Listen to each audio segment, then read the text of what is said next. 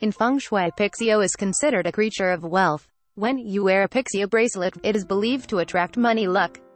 In the recent years, Pixiu bracelet is trending and it has come in the form of display ornament made of different materials gold, silver, obsidian, jade. Once you have one, you must also need to know how to take care of it to maximize the benefits that it can bring you. Who can wear Pixiu bracelet? Anyone aged between 16 to 70 can wear the bracelet, regardless of the zodiac sign.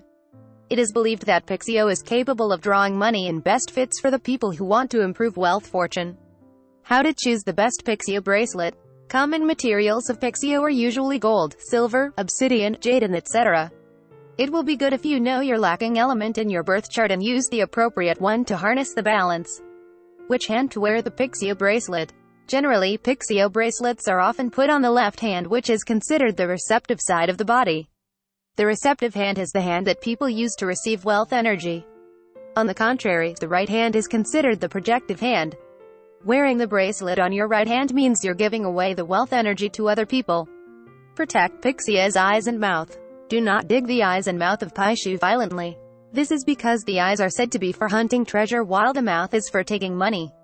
If you touch its eyes and mouth accidentally, just wash it with clean water and let it sit in the sun for a bit. Do not allow others to touch your Pixiu. Avoid having someone else touching it. But if it happens, just cleanse it with water. Avoid being contaminated by blood. Do not let your Pi Xiu be contaminated by blood. Otherwise, its money-drawing effect will be ruined. If it is exposed to blood by accident, clean with water as soon as possible and dry it in the sun.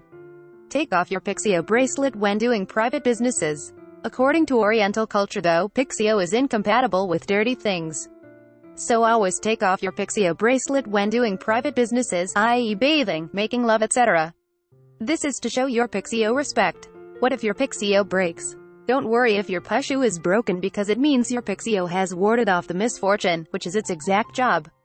Apparently, the spirit in the Pixiu understands how you, its master is feeling and can foresee what you may encounter.